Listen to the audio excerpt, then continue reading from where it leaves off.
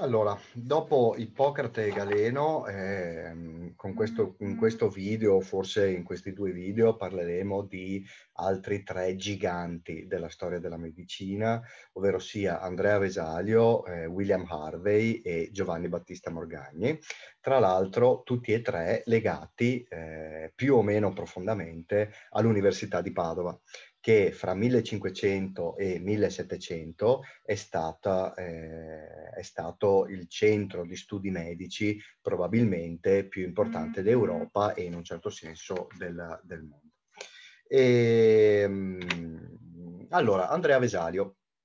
eh, nasce a Bruxelles nel 1514, il suo nome era Andries van Vesele, mm-hmm. eh, latinizzato in Andreas Vesalius, e nasce da una famiglia di medici. Eh, il padre era un farmacista, nonno e bisnonno erano medici. E frequenta eh, il Collegium Trilingue a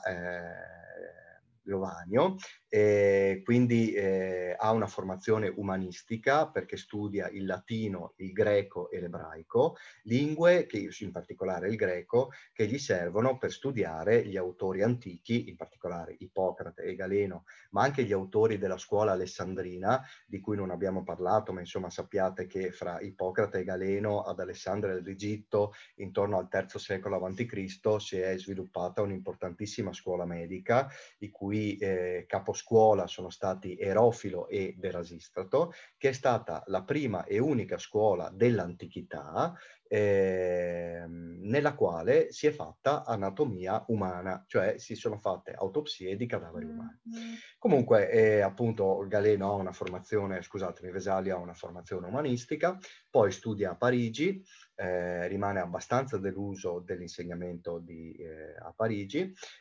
se ne torna a Lovanio e infine nel 1536 va a Padova dove si laurea e il giorno successivo alla sua, eh, o meglio, si, si, si, prende il dottorato e il giorno successivo al conseguimento eh, del, eh, del, dottorato eh, diventa docente di chirurgia e anatomia il 6 dicembre 1537. Nel 1543 pubblica uno dei testi più importanti dell'intera storia della medicina, cioè il De Humani Corporis Fabrica, cioè la struttura del corpo umano. Lo dedica a Carlo V, eh, di cui diventa medico personale, al servizio degli Asburgo e eh, dopo l'abdicazione di Carlo V segue il suo erede Filippo II in Spagna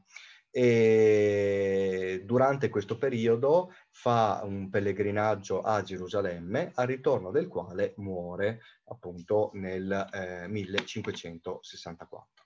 La sua rivoluzione eh, si è realizzata attraverso la pubblicazione di tre trattati fondamentali. Le tabule anatomiche sex, pubblicate l'anno dopo la, la, la eh, l'inizio della sua carriera padovana, il De Humani Corporis Fabrica, in una prima edizione del 1543 e in una seconda del 1555, e il De Humani Corporis Fabrica Epitome, che è una specie di riassunto a uso degli studenti, perché la fabbrica era un libro poderoso e anche molto costoso e quindi diciamo non accessibile agli studenti. E la rivoluzione di Vesalio si può riassumere in tre punti fondamentali. Rifonda l'insegnamento dell'anatomia rispetto al modello medievale, rifonda la divulgazione dell'anatomia attraverso l'illustrazione, è il padre dell'illustrazione anatomica, e rifonda l'anatomia emancipandola dall'anatomia di Galeno, perché come vi dicevo Galeno ha sezionato solo eh, cadaveri di, eh, sì, corpi di animali, non di eh, esseri umani, e quindi le strutture che Galeno attribuiva all'uomo erano spesso presenti solo negli animali e non nell'uomo, e, e Vesalio se ne è reso conto. Ora, il modello di insegnamento medievale prevedeva che il docente se ne stasse in una cattedra, quindi ben lontano dal cadavere, leggendo un libro di anatomia un libro di anatomia eh, ispirato, perlomeno ispirato alle, eh, alle eh, teorie di Galeno. Poi esisteva un assistente, il, lo stensor, che indicava le parti nel cadavere man mano descritte dal professore che veniva chiamato lector, lector perché appunto leggeva il testo, e infine il sector, che era il più umile dei protagonisti della lezione anatomica perché era semplicemente un inserviente che si occupava di sezionare il cadavere. Vesalio critica pesantemente questo sistema che rivoluziona, perché, è, perché Vesalio incarna tutte e tre le figure del lector, dello stensor e del sector. Questo è il famoso frontespizio magnifico eh, eh, questo libro è considerato anche un capolavoro dell'editoria rinascimentale, pubblicato nel 1543, ricordo. Questo è il frontespizio e qui si vede Vesalio, questo appunto è Vesalio al centro di questo teatro anatomico affollatissimo. E eh, vedete cosa fa Vesalio? Vesalio disseziona lui personalmente il corpo umano, indica le parti che man mano sezione, se, disseziona e legge. Cioè lui non legge il libro, ma legge il libro della natura, perché Vesalio fonda la sua ricerca anatomica non sullo studio dei libri, per quanto fosse molto esperto dell'anatomia di Galeno, che appunto lui leggeva Galeno direttamente in greco, ma legge il cadavere, il libro della natura.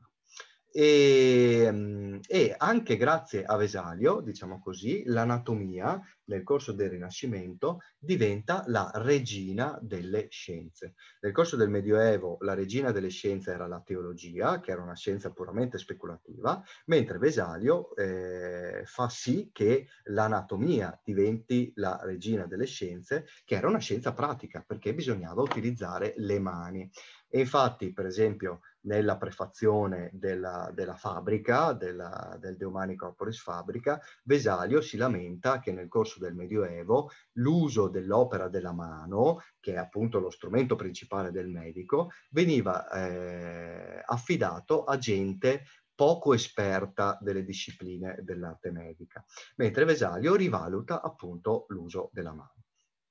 Poi la sua grande altra rivoluzione è l'illustrazione anatomica, nel senso che i testi di anatomia prima di Vesalio non avevano illustrazioni, mentre Vesalio sostiene che l'illustrazione in anatomia è importante tanto quanto l'illustrazione, gli schemi, per esempio, nella geometria e nelle scienze matematiche. E nel De Humani Corporis Fabrica ci sono più di 200 tavole magnifiche per quanto possono essere magnifiche delle tavole anatomiche, con ogni probabilità realizzate dal fiammingo Gian Stefan van Kalkar, che lavorava presso la scuola di Tiziano a Venezia. E vedete la meraviglia di queste tavole anatomiche. E la fabbrica è una miriade di scoperte anatomiche, per esempio la valvola mitrale eh, il termine mitrale deriva appunto da Vesalio che sosteneva che questa valvola assomiglia alla mitra di un vescovo, cioè appunto il copricapo tipico di un vescovo.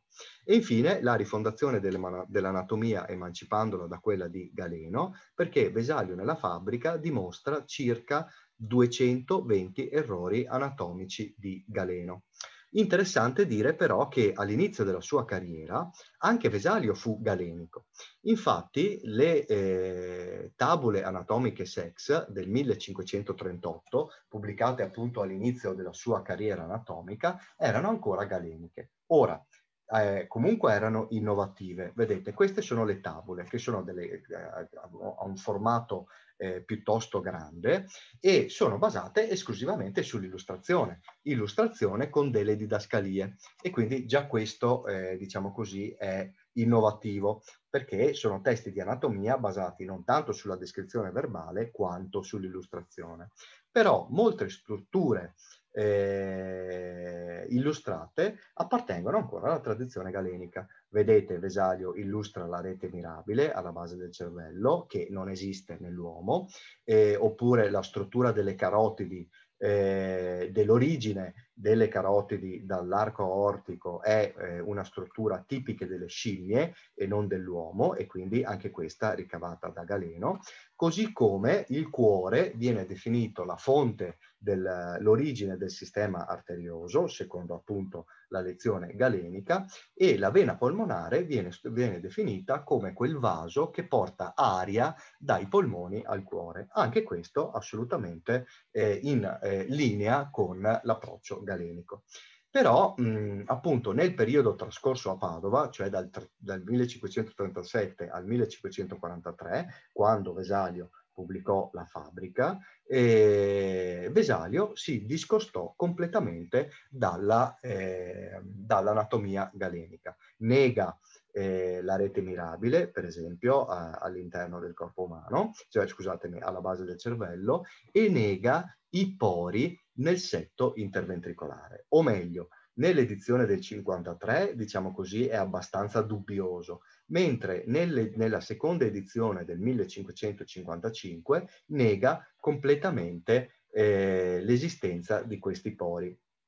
e dice ovviamente non esistendo questi pori ci vuole una via alternativa di passaggio del sangue dalla parte destra alla parte sinistra del cuore, però Vesalio non, eh, anco, dice di essere ancora esitante a presentare un uso, eh, una via alternativa e quindi una diversa funzione del sistema eh, cardiovascolare. Chi scoprirà la circolazione polmonare, cioè appunto il passaggio del sangue da destra a sinistra del cuore attraverso i polmoni, fu Matteo Realdo Colombo nel suo De Re Anatomica del 1559, che fu successore di Vesalio alla cattedra di chirurgia e anatomia presso l'Università di Padova. E quindi da questo sistema, che è il sistema galenico, in cui il sistema venoso e il sistema arterioso sono completamente separati, se non per i pori nel setto interventricolare, si passa a questo sistema in cui sì, eh, arterie e vene sono ancora separati, però c'è questo collegamento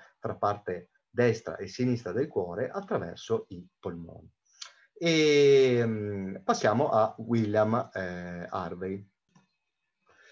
Allora, William Harvey. William Harvey, eh, vedete qui un suo ritratto e questo è il suo stemma di famiglia. Eh, questo è lo stemma mh,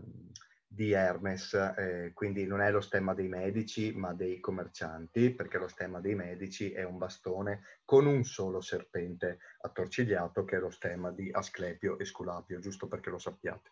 E questo stemma si trova presso il Palazzo del Bo dell'Università di Padova perché Harvey, come vedremo fra un attimo, è stato studente all'Università di Padova e si è laureato all'Università di Padova nel 1602 ed è stato il consigliere della corporazione inglese degli studenti dell'Università di, di Padova, cosa per la quale ha avuto la possibilità, dopo la sua laurea, di lasciare impresso il suo stemma familiare presso il Palazzo del Bo, che era la sede principale appunto dell'università. Allora, nasce eh, nel Kent presso una famiglia eh, agiata per appunto attività commerciali. Anche lui ha avuto una formazione umanistica, poi è stato studente a Padova dal 1599 al 1602, eh, quando si laurea in filosofia e medicina. Dopodiché è tornato a Londra ha lavorato per la maggior parte della sua carriera presso il St. Bartholomew's Hospital, che è ancora oggi uno dei principali medici, eh, scusatemi, eh, ospedali eh, londinesi. Poi è stato archiatra del, del re inglese eh, Giacomo I e poi del successore Carlo I e ha scritto due testi fondamentali, il primo soprattutto, cioè il De Motu Cordis, poi vedremo il titolo, il titolo esteso del 1628 fondamentale perché è il testo in cui si descrive per la prima volta in Occidente e nel mondo la circolazione sistemica del sangue. Perché come abbiamo visto in Galeno, anche se non ve l'ho detto in modo esplicito, non c'era il concetto di circolazione, ma c'era il concetto secondo il quale il sangue venisse elaborato dal fegato e poi distribuito in tutto il corpo attraverso l'albero venoso consumato man mano nei, nei, tessuti dove giungeva e rimpiazzato da nuovo sangue prodotto appunto sempre dal fegato. È interessante che Harvey abbia avuto l'idea della circolazione eh, a partire da, da, un concetto, cioè dal fatto che il moto circolare fosse il moto più perfetto nella natura e che quindi dovesse esistere anche all'interno del corpo umano. E eh, un altro elemento fondamentale è, stata, è stato la scoperta delle valvole delle vene eh, fatta dal suo maestro Girolamo Fabrici d'Acquapendente presso il Teatro Anatomico dell'Università di Padova. Fabrici d'Acquapendente è stato uno dei grandi rappresentanti della tradizione anatomica dell'Università di Padova. Ebbene, Fabrici ha scoperto che il sistema venoso contiene al, al suo interno delle valvole e Harvey ha capito che quelle valvole avevano una funzione anti-reflusso, perché nelle vene il sangue torna verso il cuore, mentre all'epoca si pensava che nelle, nelle, vene il sangue andasse dal centro alla periferia, diciamo così, cioè dal fegato al cuore e poi a tutti i tessuti, mentre Harvey scopre che invece il, sang- eh, il sangue nelle vene dalla periferia torna al centro, cioè torna al cuore, dove appunto viene ossigenato attraverso i polmoni. Ed ecco il suo famoso testo, appunto, pubblicato nel 1628. Dicevamo De Motu Cordis, in realtà il titolo esteso è Exercitatio anatomica de motu cordis et sanguinis in animalibus. Vi sottolineo questo termine, in animalibus, cioè Harvey studia il cuore e il sistema cardiovascolare non solo nell'uomo, ma in tutti gli animali. Per esempio, nei pesci esiste un solo atrio e un solo ventricolo, eh, quindi non due atri e due ventricoli, e quindi era più facile pensare a un sistema circolatorio. E proprio l'utilizzo dell'anatomia comparata alteriteram che ha permesso ad Harvey di arrivare alla dimostrazione della circolazione sistemica del sangue. E per diciamo così, eh, fare un omaggio al suo maestro Girolamo Fabrici da Capendente, che appunto nel 1603 pubblicava il De Venarum Ostiolis, in cui eh, eh, divulgava la sua scoperta delle valvole delle vene. Vedete, questa è l'unica illustrazione che si trova all'interno del De Venarum Ostiolis e l'unica illustrazione che si trova all'interno del De Motu Cordis riproduce quella del De Venarum Ostiolis, però ovviamente secondo, una, secondo una, un approccio diverso, cioè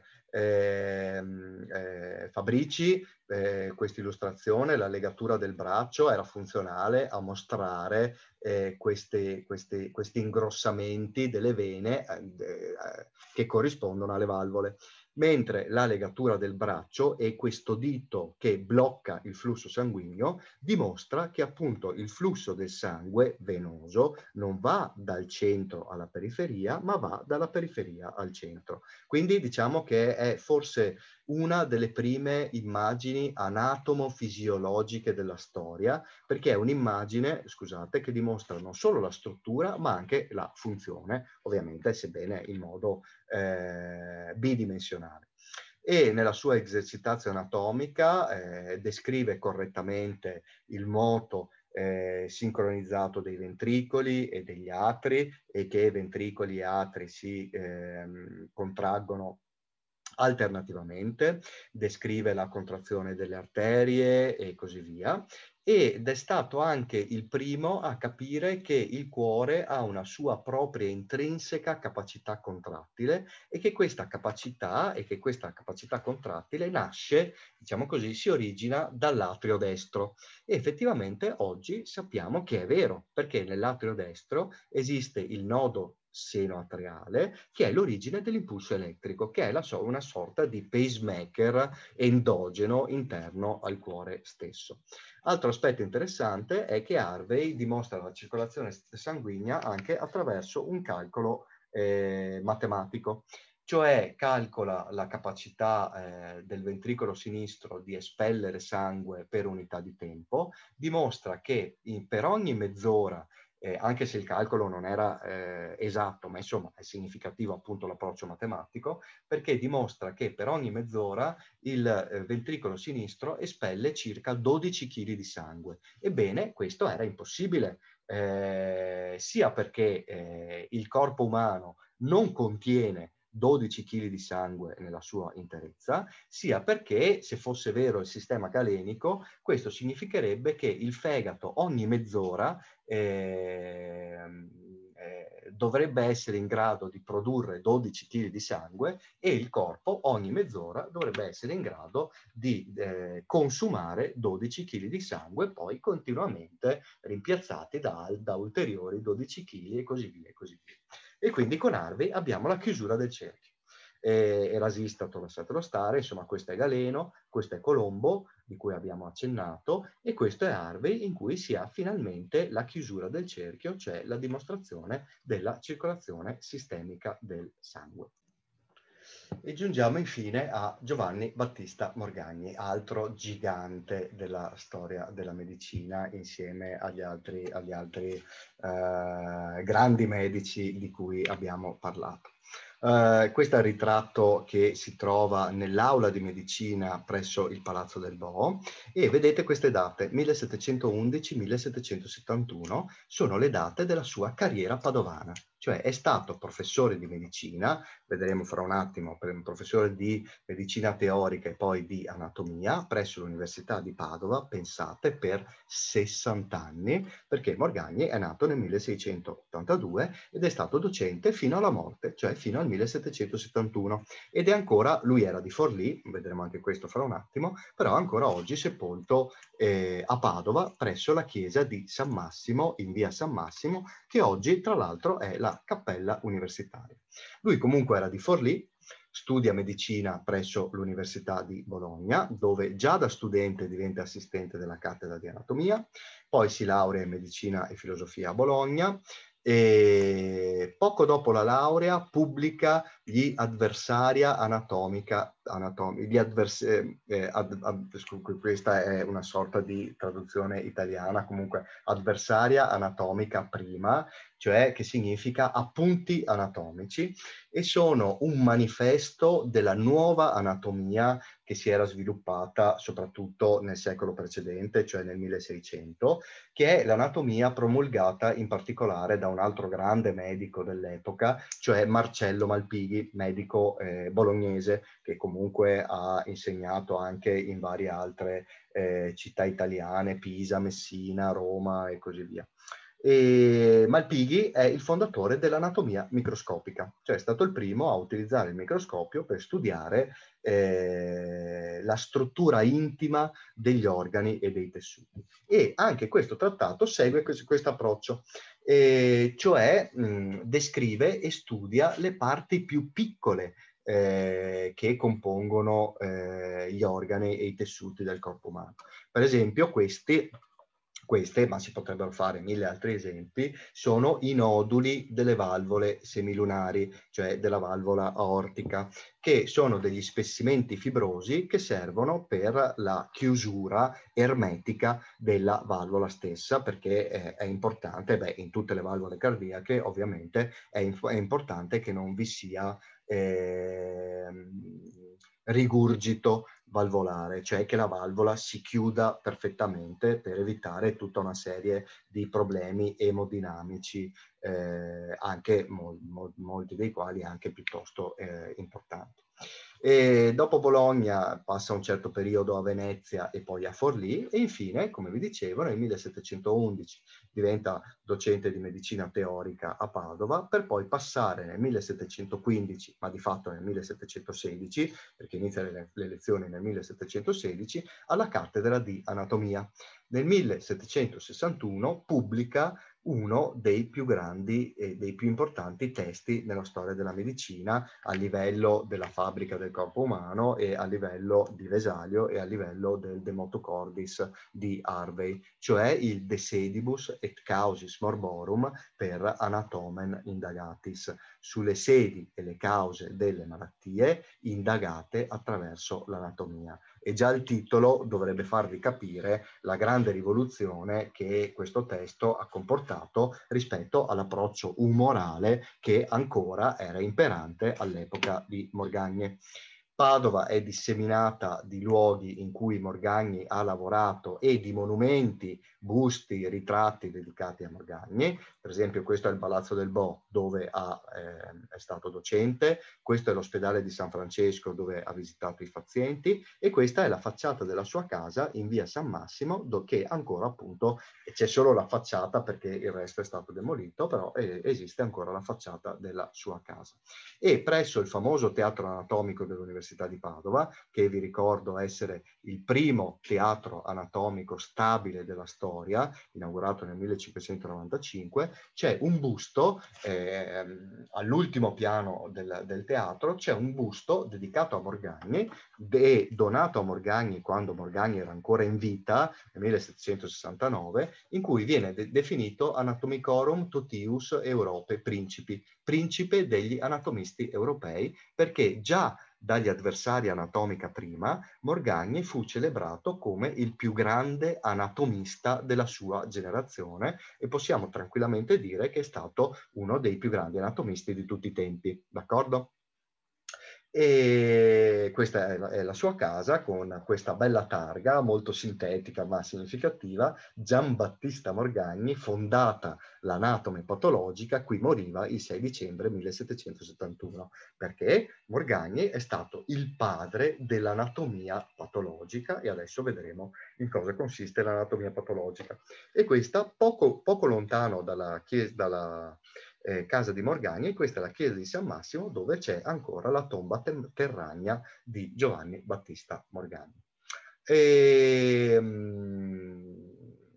Durante eh, il suo magistero presso la cattedra di medicina teorica ha pubblicato il Nova Institutionum Medicarum Idea, che sostanzialmente è una proposta per un nuovo curriculum di eh, studi medici, in cui sostiene che il medico deve essere eh, esperto in dialettica, in dialettica per esempio per eh, il colloquio con i pazienti, ma anche per trasmettere correttamente le proprie, le proprie scoperte in matematica e filosofia, perché il 1600 e il 1700 sono stati i secoli in cui la matematica e la geometria, qui con filosofia si intende filosofia sperimentale, la matematica e la geometria sono state introdotte in modo imponente in medicina, si sosteneva cioè che il corpo fosse una macchina e che quindi fosse, dovesse essere studiato attraverso appunto la matematica e la geometria, dovesse essere anche esperto in diritto per questioni di medicina legale,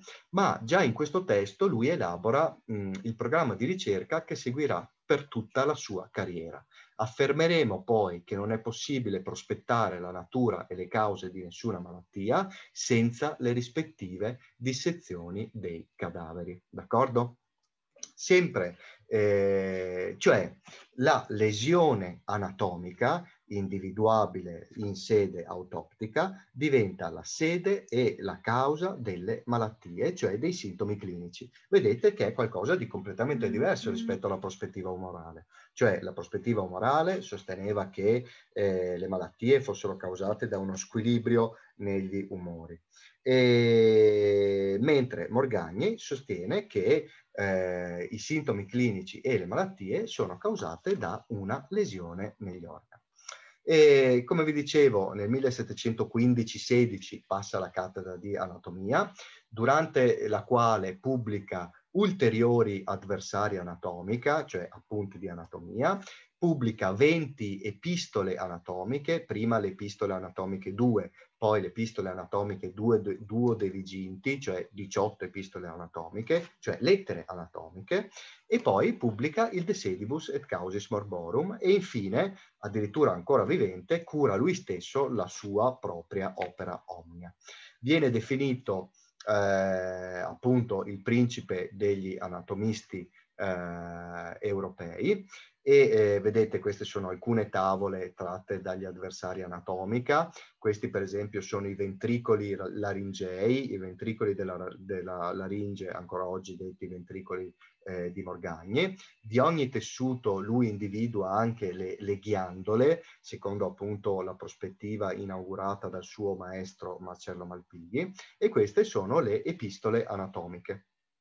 E questo è il frontespizio della sua opera maggiore, cioè il De Sedibus et Causis Morborum per Anatomen Indagatis, in cui si definisce publicus primarius professor Patavinus, perché all'epoca ovviamente era un onore essere docente presso la famosa Università di Padova. Ebbene, il De Sedibus è composto di eh, quattro capitoli, eh, oh, scusate, cinque capitoli, ognuno dei quali dedicato a un settore corporeo, il primo capitolo, dalla testa, con un ordine dalla testa ai piedi, che era già un ordine classico, comunque già Galeno lo utilizzava, cioè prima le malattie del capo, poi del, della testa, poi le malattie del petto, poi le malattie dell'addome, poi le malattie universali, cioè per esempio le malattie infettive che colpivano tutto il corpo sostanzialmente, e l'ultimo libro consiste in casi aggiuntivi ai quattro libri precedenti. E, mm, eh, poi i libri sono suddivisi in paragrafi, cioè in lettere anatomo-mediche. Ogni lettera eh, studia una data malattia attraverso l'osservazione anatomo-clinica di diversi casi di quella stessa malattia. E in tutto, in, questo, eh, in questa straordinaria opera, sono descritti 700 casi anatomo-clinici. Quindi ehm, ogni caso eh, consiste nella storia clinica del paziente, cioè i sintomi che ha avuto, il decorso clinico e la morte, il referto autoptico, cioè quello che si è osservato in sede autoptica, e poi in un tentativo di collegare le lesioni eventuali rivenute in sede autoptica e i sintomi clinici osservati durante la vita del paziente. Quindi eh, i capitoli hanno un ordine anatomico, perché appunto eh, sono ordinati secondo settori corporei e ogni libro ha un ordine clinico perché ogni libro tratta di eh, malattie o sintomi clinici. Per esempio, il libro primo che tratta delle malattie del capo tratta di, per esempio, apoplessia, ictus, delirio, mania, epilessia e così via, cioè tutte malattie, sintomi o sindromi che riguardano eh, affezioni della, del capo, della testa, dell'encefalo in particolare. Ovvi- Scusatemi, ovviamente. E, ehm, quindi il titolo, sedi e cause delle malattie investigate con l'anatomia, già spiega tutto, già spiega l'approccio morganiano. Cioè la, l'anatomia, cioè la dissezione dei cadaveri, mostra le lesioni organiche che sono considerate le sedi e le cause delle malattie. E a proposito di causa, Morgagni suddivide, suddivide, le cause delle malattie in cause prossime e cause remote. La causa prossima, cioè quella immediatamente connessa ai sintomi clinici, è appunto la lesione anatomica, mentre la causa remota potremmo dire che è lo stile di vita del paziente eh, o l'ambiente in cui vive che porta nel corso del tempo, gradatamente, più o meno velocemente, alla formazione della lesione interna che è la eh, causa prossima della malattia. E poi per farvi capire come Morgagni abbia riformato la teoria degli umori dall'interno, cioè lui non nega eh, in modo de- deciso l'esistenza degli umori del corpo, ma innanzitutto sostiene che non sono quattro, cioè non sono sangue, flemma, bile nera e bile gialla, ma sono tutti i fluidi biologici all'interno del corpo, quindi anche il muco, il catarro, il sudore, le lacrime, eh, il pus e così via. E poi cosa dice? Se c'è una malattia causata da un eccesso di umore, per esempio se c'è una malattia causata da un eccesso di, cat- di catarro, bene, questo eccesso di catarro non è, caratter- non è determinato da un qualche squilibrio generale, ma è determinato dalla disfunzione di una ghiandola, che, di un gruppo di ghiandole che producono appunto il catarro. D'accordo? Quindi gli umori sono legati agli organi, quindi a una disfunzione di ghiandole, quindi a una, una base strettamente, strettamente organica. Quindi nel De Sedibus si collega l'anatomia, cioè la dissezione dei cadaveri, con la clinica, cioè lo studio dei sintomi clinici del paziente, che vanno a costituire quello che ancora oggi è chiamato il metodo anatomo-clinico. E eh, importante per Morgagni, per ogni malattia eh, non basta osservare un caso e di quel caso osservare la storia clinica e ovviamente eh, aprire il cadavere del paziente una volta deceduto, ma per ogni malattia, come un po' sosteneva la scuola ippocratica, era necessario osservare tante storie cliniche e eh, eseguire tante eh, dissezioni eh, anatomiche, tante autopsie per vedere quali sono i sintomi e quali sono le lesioni principali per ogni malattia e quali sono i sintomi e le lesioni secondarie più rare per ogni malattia. Ecco, e così abbiamo finito nella presentazione di questi eh, tre straordinari personaggi.